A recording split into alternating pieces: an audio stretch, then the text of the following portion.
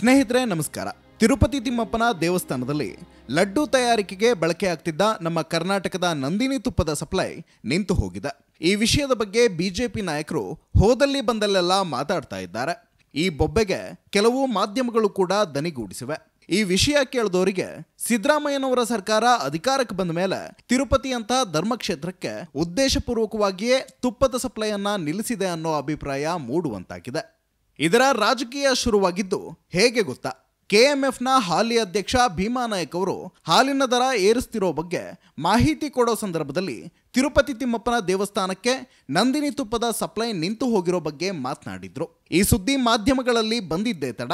BJP ನಾಯಕರು ಹೊಸ ರಾಜಕೀಯ ವರಸೆಯನ್ನ ಶುರು ಮಾಡಿಕೊಂಡಿದ್ದಾರೆ. ದೇವಸ್ಥಾನ ಹಾಗೂ ಹಿಂದೂಗಳ ಶ್ರದ್ಧೆ ಭಕ್ತಿಯ ವಿಚಾರದಲ್ಲಿ ಅಸಡ್ಡೆ ತೋರುವ ಕಾಂಗ್ರೆಸ್ನ ನೀತಿಯಿಂದಾಗಿ ತಿರುಪತಿ ಲಡ್ಡುಗೆ ನಂದಿನಿ ತುಪ್ಪದ ಸರಬರಾಜು ಸ್ಥಗಿತಗೊಂಡಿದೆ. ತಿರುಪತಿಯೊಂದಿಗಿನ ಐವತ್ತು ವರ್ಷಗಳ ಪರಂಪರೆಗೆ ಎಳ್ಳು ನೀರು ಬಿಡಲಾಗಿದ್ದು, ಹಿಂದೂಗಳೆಡೆಗಿನ ಸಿದ್ದರಾಮಯ್ಯನವರ ತಾತ್ಸಾರ ನೀತಿ ರುಜುವಾತಾಗಿದೆ ಅಂತ ಬಿಜೆಪಿ ರಾಜ್ಯಾಧ್ಯಕ್ಷ ನಳಿನ್ ಕುಮಾರ್ ಕಟೀಲ್ ಟ್ವೀಟ್ ಮಾಡಿದ್ದಾರೆ. ರಾಜ್ಯ ಬಿಜೆಪಿಯ ಉಪಾಧ್ಯಕ್ಷ ವಿಜಯೇಂದ್ರ ಕೂಡ ಈ ಬಗ್ಗೆ ಟ್ವೀಟ್ ಮಾಡಿದ್ದಾರೆ. ಐವತ್ತು ವರ್ಷಗಳಿಂದ ತಿರುಪತಿ ಪ್ರಸಾದದ ಲಡ್ಡುಗೆ ಬಳಕೆಯಾಗ್ತಿದ್ದ ನಂದಿನಿ ತುಪ್ಪ ಇನ್ಮುಂದೆ ಬಳಕೆಯಾಗೋದಿಲ್ಲ ವ್ಯಾರಂಟಿ ಇಲ್ಲದ ಗ್ಯಾರಂಟಿಗಳ ಸರ್ಕಾರ ತನ್ನ ದುರಾಸೆ ಮತ್ತು ಅಸಮರ್ಥತೆಯಿಂದ ತಿರುಪತಿಗೆ ತುಪ್ಪ ಸರಬರಾಜು ಮಾಡುವ ಅವಕಾಶವನ್ನ ಕಳೆದುಕೊಂಡಿದೆ. ಕಾಂಗ್ರೆಸ್ ಸರ್ಕಾರ ಕರ್ನಾಟಕಕ್ಕೆ ಶಾಪವಿದ್ದ ಹಾಗೆ ಅಂದಿದ್ದಾರೆ. ಹಿರಿಯ ಶಾಸಕ ಬಸವನಗೌಡ ಯತ್ನಾಳ್, ಮಾಜಿ ಶಾಸಕ ಸೋಮಶೇಖರ್ ರೆಡ್ಡಿ ಸೇರಿದಂತೆ ಹಲವು ಬಿಜೆಪಿ ನಾಯಕರು ಕಾಂಗ್ರೆಸ್ ಸರ್ಕಾರವೇ ತಿರುಪತಿ ದೇವಸ್ಥಾನಕ್ಕೆ ತುಪ್ಪದ ಸಪ್ಲೈಯನ್ನ ನಿಲ್ಲಿಸಿದ್ದು ಅಂತಿದ್ದಾರೆ. ಸರಿ, ವಿಷಯಕ್ಕೆ ಬರೋಣ.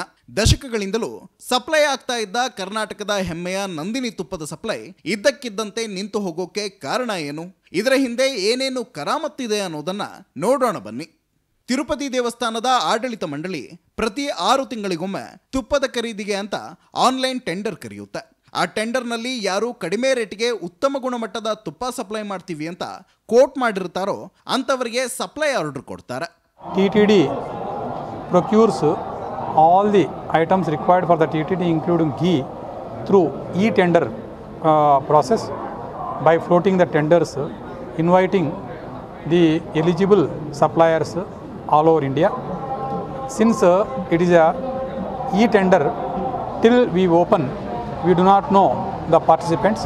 After opening the tender, only as per the tender conditions, as per the procedures, because this is TTD is also a government organization, we have to award contract to L1, that is the lowest offered rate only.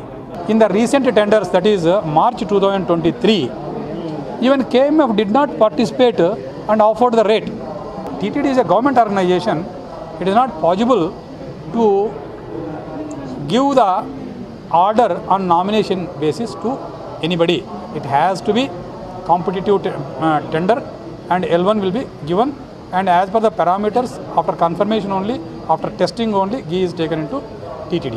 ಧರ್ಮಾರೆಡ್ಡಿಯವರು ಹೇಳ್ತಿರೋ ಹಾಗೆ ಕಳೆದ ಮಾರ್ಚ್ನಲ್ಲೂ tender ಕರೆಯಲಾಗಿತ್ತು ಆಶ್ಚರ್ಯ ಅಂದ್ರೆ ನಮ್ಮ ಕೆಎಂಎಫ್ನವರು ಈ tender ಪ್ರಕ್ರಿಯೆಯಲ್ಲಿ ಭಾಗವಹಿಸೇ ಇರಲಿಲ್ಲ ಇದು ನಾವು ಹೇಳ್ತಾ ಇರೋ ಮಾತಲ್ಲ ಸ್ವತಃ ದೇವಸ್ಥಾನದ ಎಕ್ಸಿಕ್ಯೂಟಿವ್ ಆಫೀಸರ್ ಧರ್ಮಾರೆಡ್ಡಿ ಅವರೇ ಬಹಿರಂಗಪಡಿಸಿರೋ ವಿಚಾರ. ಅಂದಹಾಗೆ, ಕಳೆದ ಮಾರ್ಚ್ನಲ್ಲಿ ರಾಜ್ಯದಲ್ಲಿ ಅಧಿಕಾರದಲ್ಲಿದ್ದಿದ್ಯಾರು? ಬೊಮ್ಮಾಯಿ ಅವರ ನೇತೃತ್ವದ ಬಿಜೆಪಿ ಸರ್ಕಾರ ಅಲ್ವಾ? ಬಿಜೆಪಿಯ ಪ್ರಭಾವಿ ಶಾಸಕ ಬಾಲಚಂದ್ರ ಜಾರಕಿಹೊಳಿ ಅವರು ಆಗ ಕೆಎಂಎಫ್ನ ಅಧ್ಯಕ್ಷರಾಗಿದ್ರಲ್ವಾ? ಅಂದ್ರೆ, ತಾವೇ ಅಧಿಕಾರದಲ್ಲಿದ್ದಾಗ ಟೆಂಡರ್ ಪ್ರಕ್ರಿಯೆಗೆ ಹಾಜರಾಗದೆ ತಿರುಪತಿ ತಿಮ್ಮಪ್ಪನ ಲಾಡುಗೆ ನಂದಿನಿ ತುಪ್ಪವನ್ನ ಸರಬರಾಜು ಮಾಡದೆ ಬಿಜೆಪಿ ಸರ್ಕಾರ ತಮ್ಮ ಕೈಯಾರೆ ಅವಕಾಶವನ್ನ ಬಿಟ್ಟುಕೊಟ್ಟಿದೆ. ಅಸಲಿ ಸಂಗತಿ ಹೀಗಿರುವಾಗ ಮೇ ತಿಂಗಳಲ್ಲಿ ಅಧಿಕಾರಕ್ಕೆ ಬಂದಿರೋ ಸಿದ್ದರಾಮಯ್ಯನವರ ಸರ್ಕಾರದ ಮೇಲೆ ಗೂಬೆ ಕೂರಿಸೋದು ಎಷ್ಟು ಸರಿ ಅನ್ನೋದು ಯೋಚನೆ ಮಾಡಬೇಕಾದ ವಿಷಯ. ತಮ್ಮ ಮೇಲೆ ಬಿಜೆಪಿ ನಾಯಕರು ಮಾಡ್ತಿರೋ ಇಂಥ ಆರೋಪಗಳ ಬಗ್ಗೆ ಸಿಎಂ ಸಿದ್ದರಾಮಯ್ಯನವರು ಏನು ಹೇಳಿದ್ದಾರೆ ಅನ್ನೋದನ್ನ ನೋಡೋಣ ಬನ್ನಿ. ಒಂದೂವರೆ ವರ್ಷದ ಹಿಂದೆ ಬಿಜೆಪಿ ಸರ್ಕಾರದ ಅವಧಿಯಲ್ಲೇ ತಿರುಪತಿಗೆ ನಂದಿನಿ ತುಪ್ಪದ ಸಪ್ಲೈಯನ್ನು ನಿಲ್ಲಿಸಲಾಗಿದೆ. ಹಾಗಿದ್ರೆ ಬಿಜೆಪಿ ಹಿಂದೂ ಧಾರ್ಮಿಕ ಶ್ರದ್ಧಾ ಭಕ್ತಿಯ ವಿರೋಧಿಯೋ ಅಥವಾ ಮುಖ್ಯಮಂತ್ರಿಯಾಗಿದ್ದ ಬಸವರಾಜ ಬೊಮ್ಮಾಯಿ ಮಾತ್ರ ಹಿಂದೂ ವಿರೋಧಿಯೋ ಅಂತ ಪ್ರಶ್ನೆ ಹಾಕಿದ್ದಾರೆ. ನಾವಿಲ್ಲಿ ನೆನಪಿಸಿಕೊಳ್ಳಬೇಕಾದ ಇನ್ನೊಂದು ಪ್ರಮುಖವಾದ ವಿಚಾರವಿದೆ. ಅದೇನಂದ್ರೆ ಬೆಂಗಳೂರಿನ ಯಲಹಂಕ ಕ್ಷೇತ್ರದ ಬಿಜೆಪಿ ಎಂಎಲ್ಎ, ಮಾಜಿ ಸಿಎಂ ಯಡಿಯೂರಪ್ಪನವರ ಆಪ್ತ ಎಸ್ ಆರ್ ವಿಶ್ವನಾಥ್ ಅವರು ಈ ತಿರುಪತಿ ತಿರುಮಲಂ ದೇವಸ್ಥಾನಂ ಟ್ರಸ್ಟ್ನ ಸಮಿತಿಯಲ್ಲಿದ್ದಾರೆ. ಎರಡ್ ಸಾವಿರದ ಇಪ್ಪತ್ತೊಂದರ ಸೆಪ್ಟೆಂಬರ್ನಲ್ಲೇ ವಿಶ್ವನಾಥ್ ಅವರನ್ನ ಡಿಯ ಸಮಿತಿಗೆ ನೇಮಕ ಮಾಡಲಾಗಿತ್ತು. ನಮ್ಮ ರಾಜ್ಯದ ಅದರಲ್ಲೂ ಬಿಜೆಪಿಯ ಶಾಸಕರೇ ಟಿಟಿಡಿಯ ಸಮಿತಿಯಲ್ಲಿದ್ರು. ಆಗ ಅಧಿಕಾರದಲ್ಲಿದ್ದ ಬಿಜೆಪಿ ಸರ್ಕಾರ ತಿರುಪತಿಗೆ ಯಾಕೆ ತುಪ್ಪ ಸಪ್ಲೈ ಮಾಡಲಿಲ್ಲ? ತಿರುಪತಿ ದೇವಸ್ಥಾನದವರು ಬೇರೆ ಬ್ರ್ಯಾಂಡ್ನ ತುಪ್ಪವನ್ನ ಖರೀದಿ ಮಾಡಬೇಕಾದ್ರೆ ಅದೇ ಮಂಡಳಿಯಲ್ಲಿರೋ ವಿಶ್ವನಾಥ್ ಅವರು, ನಮ್ಮ ನಂದಿನಿ ತುಪ್ಪವನ್ನೇ ಖರೀದಿ ಮಾಡಿ ಅಂತ ಯಾಕೆ ಶಿಫಾರಸು ಮಾಡಲಿಲ್ಲ? ಇಲ್ಲೇ ಇರೋದು ಅಸಲಿ ಕರಾಮತ್ತು. ಈಗ ತಿರುಪತಿ ತಿಮ್ಮಪ್ಪನ ಲಡ್ಡುಗೆ ತುಪ್ಪ ಸಪ್ಲೈ ಮಾಡ್ತಾ ಇರೋದು ಗುಜರಾತಿನ ಅಮೂಲ್ ಕಂಪನಿ ಅನ್ನೋ ಮಾತುಗಳು ದಟ್ಟವಾಗಿ ಕೇಳಿ ಬರ್ತಿವೆ. ಅಮುಲ್ ದಾರಿಯನ್ನ ಸುಗಮ ಮಾಡಲಿಕ್ಕಾಗಿ ನಮ್ಮ ಕೆಎಂಎಫ್ನವರು ಟೆಂಡರ್ ಪ್ರಕ್ರಿಯೆಯಲ್ಲಿ ಭಾಗವಹಿಸಲಿಲ್ವಾ ಅನ್ನೋ ಪ್ರಶ್ನೆ ಸಾರ್ವಜನಿಕರಲ್ಲಿ ಮೂಡ್ತಾ ಇದೆ. ನೆನಪಿಡಿ, ಈ ಅಮೂಲ್ ಕಂಪನಿ ನಮ್ಮ ನಂದಿನಿ ಬ್ರ್ಯಾಂಡ್ ಮೇಲೂ ಕಣ್ಣಿಟ್ಟಿತ್ತು. ಆರು ತಿಂಗಳ ಹಿಂದೆ ತಂತ್ರಜ್ಞಾನ ವಿನಿಮಯ ಅನ್ನೋ ನೆಪದಲ್ಲಿ ನಂದಿನಿ ಬ್ರ್ಯಾಂಡನ್ನು ತನ್ನ ತೆಕ್ಕೆಗೆ ತೆಗೆದುಕೊಳ್ಳೋ ಪ್ರಯತ್ನ ಮಾಡಿತ್ತು.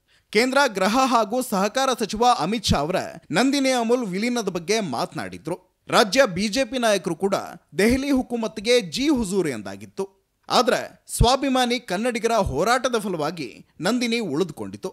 ಈಗ ಅದೇ ಅಮೂಲ್ ಕಂಪನಿ ಆಂಧ್ರ ಪ್ರದೇಶದ ಜನಪ್ರಿಯ ಮಿಲ್ಕ್ ಬ್ರ್ಯಾಂಡ್ ಎನ್ನಿಸಿಕೊಂಡಿರೋ ಚಿತ್ತೂರು ಡೈರಿಯನ್ನ ತನ್ನ ತೆಕ್ಕೆಗೆ ತೆಗೆದುಕೊಂಡಿದೆ. ಚಿತ್ತೂರಿನಿಂದ ಎಂಬತ್ತು ಕಿಲೋಮೀಟರ್ ದೂರದಲ್ಲಿರೋ ತಿರುಪತಿಯ ದೇವಸ್ಥಾನಕ್ಕೆ ಇದೇ ಚಿತ್ತೂರ್ ಅಮೂಲ್ ಮಿಲ್ಕ್ ಡೈರಿ ಇನ್ನು ಮುಂದೆ ತುಪ್ಪ ಸಪ್ಲೈ ಮಾಡಲಿದೆ ಅನ್ನೋ ಮಾತುಗಳು ಕೂಡ ಕೇಳಿ ಬರ್ತಾ ಇವೆ. ಹೀಗಾಗಿಯೇ ತಿರುಪತಿಯ ದೇವಸ್ಥಾನದ ಆಡಳಿತ ಮಂಡಳಿಯವರು ಕೂಡ ಟೆಂಡರ್ ಪಡೆದ ಕಂಪನಿಯ ಹೆಸರನ್ನ ಬಹಿರಂಗಪಡಿಸ್ತಿಲ್ಲ ಅಧಿಕಾರದಲ್ಲಿದ್ದಾಗ ನಂದಿನಿ ಬ್ರ್ಯಾಂಡ್ ಬಗ್ಗೆ ಆಗಲಿ, ತಿರುಪತಿ ಲಡ್ಡುಗೆ ತುಪ್ಪ ಸಪ್ಲೈ ಮಾಡೋ ಬಗ್ಗೆ ಆಗಲಿ ಕಾಳಜಿ ತೋರದ ಬಿಜೆಪಿ ನಾಯಕರು ಈಗ ತುಪ್ಪದ ವಿಚಾರದಲ್ಲಿ ಮಾಡ್ತಿರೋ ರಾಜಕೀಯವನ್ನ ಏನಂತ ಕರೀಬೇಕು? ನಿಮ್ಮದು ನೈತಿಕತೆ ಇಲ್ಲದ ಲಜ್ಜೆಗೆಟ್ಟ ರಾಜಕಾರಣ ಅಂತ ವಿರೋಧಿಗಳು ಟೀಕೆ ಮಾಡಿದ್ರೆ ಇವರು ಯಾವ ಬಾಯಿಂದ ಸಮರ್ಥನೆ ಮಾಡಿಕೊಳ್ತಾರೆ?